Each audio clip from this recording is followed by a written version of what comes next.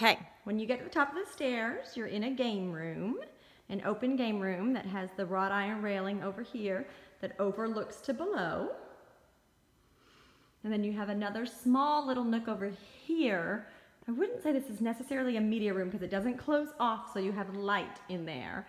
But it is would be great for just another a desk area or a nook. And you could certainly put doors on it or close it off somehow with some curtains if you did want to use it as a media room. This is access to your attic here. Okay. That's nice. And we'll go this way. And this is overlooking to your front door.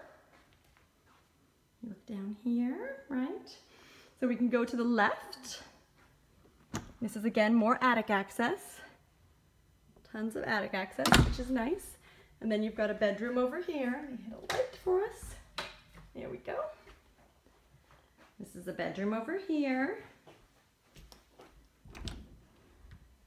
With a walk-in closet. Perfect for a guest room. And then if we'll go the other way, this is the bathroom.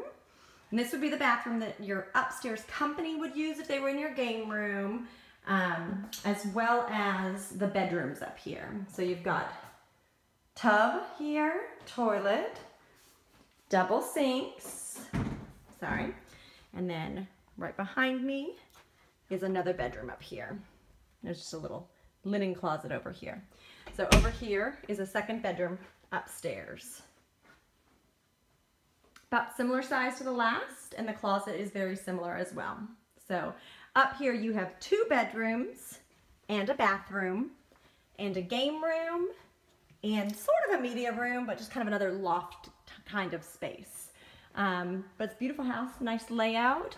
It does give you similar things